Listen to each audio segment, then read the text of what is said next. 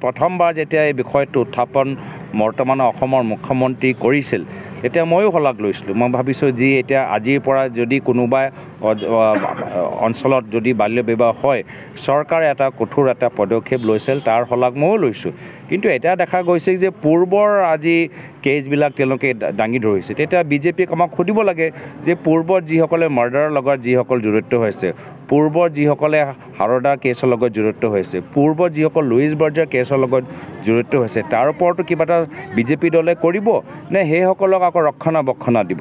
তো আজিৰ তাৰিখত আমি দেখা পাইছোঁ যে বৰ্তমানৰ বিজেপি চৰকাৰ আজি তেওঁলোকৰ যে গৃহ বিভাগ হোম ডিপাৰ্টমেণ্ট যে বিফল হৈছে অৰ্ণমাই বৰাৰ কেছত যে বিফল হ'ল আমাৰ খুমটাই অনিমেষ ভূঞাৰ কেছত যে বিফল হ'ল ধাৰাবাহিকভাৱে যে মহিলাৰ নিৰ্যাতনৰ কেছবিলাক বাঢ়ি গৈ আছে চাইল্ড ট্ৰেফিকৰ সমস্যা বাঢ়ি গৈছে ড্ৰাগছৰ সমস্যা বাঢ়ি গৈছে সীমা অন্তৰ অঞ্চলত আজি কাটৰ যে আজি চিণ্ডিকেট চলি আছে সেই লৈ যে নিজৰ গৃহ বিভাগ আজি বিফল আৰু ব্যৰ্থ হৈছে সেইখিনি লুকাবলৈ কাৰণেহে আজি এনেকুৱা এটা অভিযান তেওঁলোকে আৰম্ভ কৰিছে।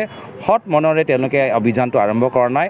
এইটো এটা টি আৰ পি ল'বলৈ আৰু নিজৰ বিভাগৰ ব্যৰ্থতা লুকাবলৈ আজি কৰিছে। আৰু যদি পূৰ্বৰ কেছ যদি তেওঁলোকে জোৰ দিছে মই কৈছোঁ পূৰ্বৰ লুইচ বাৰ্জাৰ কেছৰ পূৰ্ব হাৰোদা কেছটো তেওঁলোকে পুনৰবাৰ গুৰুত্ব সহকাৰে ল'ব লাগে।